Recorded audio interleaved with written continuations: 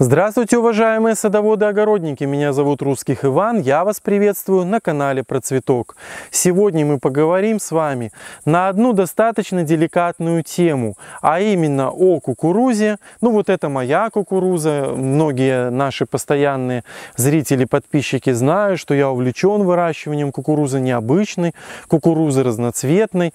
Ну а большинству из э, нас привычно желтая кукуруза, и конечно же эта кукуруза кукуруза занимает огромные площади на полях и нашей страны, и в России наверняка, и э, в Украине, и во многих других странах кукурузы растет навалом. Надо сказать, почему вот я вообще о чем и ролик, и почему сейчас я о нем хочу сказать. Э, в нашей стране как и во многих других соседских странах, очень популярна э, кукуруза в початках, которую варят и которую употребляют солью, там, ну, кому как нравится. И что греха таить, многие, многие все-таки еще зарятся на фермерскую кукурузу, на кукурузу, ну, у нас в стране остались крупнотоварные хозяйства, раньше они назывались колхозы, сейчас они называются очень по-разному, но суть от этого не меняется, по сути, это огромная огромные хозяйства, которые на больших площадях выращивают кукурузу. Кукуруза действительно в Беларуси стала царица полей. И некоторые люди, многие люди все-таки все еще соблазняются, лазят в эту кукурузу, ломают там теперь початки для того, чтобы приготовить вкусную еду дома. Ну, отойду немножко в сторону и скажу о том, что на самом деле э, высокой диетической ценности в кукурузе для человека не так и много. Белок ее неполноценен, а, она содержит значительное количество углеводов, что для людей, которые следят за своей фигурой, вот, ну я на себя не, не намекаю, но, но многие, я знаю, следят за своей, своей фигурой, избегают избыточного веса, это все очень правильно. Вот это избыточное количество углеводов, которое содержится в кукурузе, совсем-совсем не полезно. Но все-таки, если это потреблять не часто, нерегулярно, можно, в общем, себе позволить. В чем опасность Э, потребления вот такой вот кукурузы с фермерских или колхозных полей.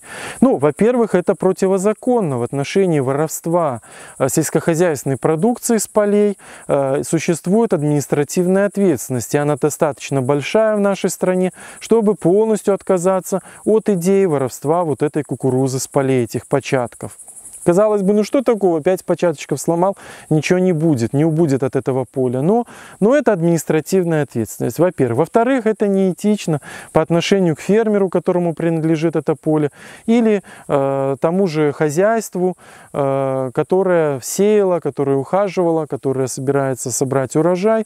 Но все-таки э, вот идти туда и ломать, все-таки времена те, что где, когда все вокруг колхозное мое, они уже прошли, к счастью. И это, в общем, общем-то, частная или государственная собственность, посягать на которую, смотри пункт 1, является административной ответственностью. Но э, вы должны помнить вот о чем. Когда я работал в инспекции по семеноводству, карантину и защите растений, я хорошо помню экспертные советы по включению тех или иных средств защиты растений, включая гербициды, инсектициды, фунгициды, в реестр средств защиты растений и удобрений. И очень всегда было много баталий по поводу того, можно включать, например, какой-то препарат для кукурузы или нет. Почему? Потому что он, например, предназначен для кукурузы на силос. А срок его разложения внутри этих растений таков, что в когда будет убираться зеленая масса кукурузы с початками стадии молочной спелости, такой оптимальный вариант для уборки на силос, эти препараты там еще не разложатся, и эти препараты не включались в реестр э, пестицидов. Но когда вы выходите на поле, вы понятия не имеете, выращивается эта кукуруза на силос, выращивается она на зерно, какие препараты там носились. Я вам хочу сказать, что кукуруза является наряду с рапсом одним из тех, одной из тех культур, где химизация, где использование средств защиты очень и очень сильная и высокая.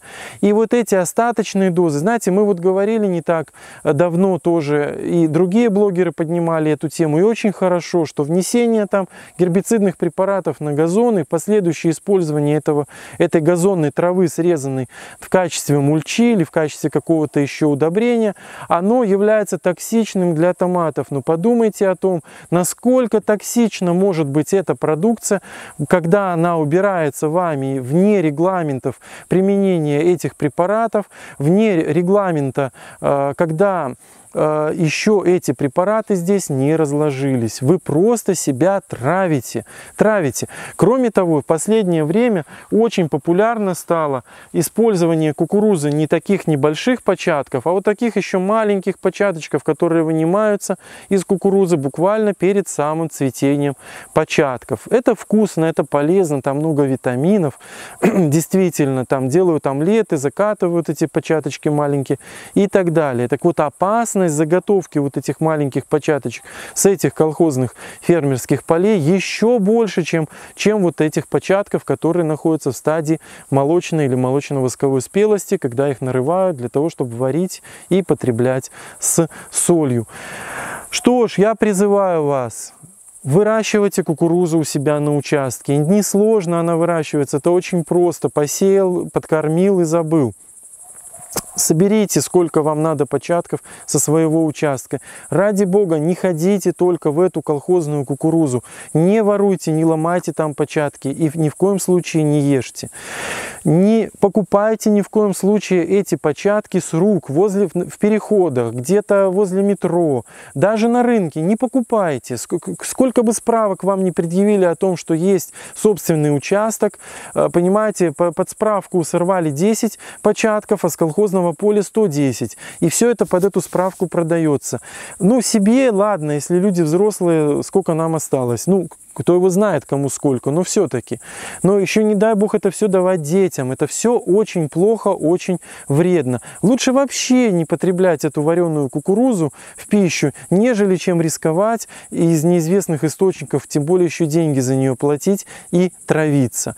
Что ж, надеюсь, вы услышите мой крик души и э, правильно меня поймете, мою заботу о вашем здоровье и о вашем финансовом благополучии, потому потому что если вы попадетесь, ну, не знаю, как в какой стране, но в Беларуси, это чревато очень-очень большими неприятностями. Берегите себя, берегите свое здоровье, разумно относитесь к потреблению, разумно относитесь к э, миру, который вас окружает, и вот к тем растениям, которые вас окружают. Вырастите кукурузу, и тем более разноцветную. Это будет не только красиво, увлекательно, но еще очень и очень полезно. Гораздо полезнее полезнее, чем просто желтая кукуруза. На этом я прощаюсь с вами, надеюсь на понимание и всего хорошего.